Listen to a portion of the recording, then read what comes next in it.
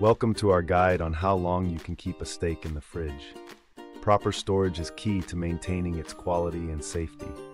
A steak can typically be kept in the fridge for three to five days before it should be cooked or frozen to maintain its quality and safety.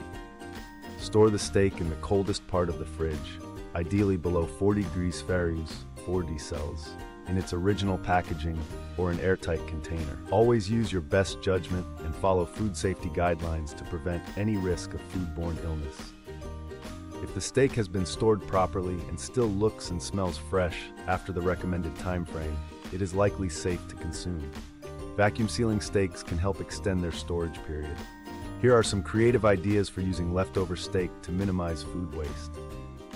To sum up, remember to store your steak properly, follow food safety guidelines, and get creative with leftovers. These tips will help you enjoy safe and delicious steak every time.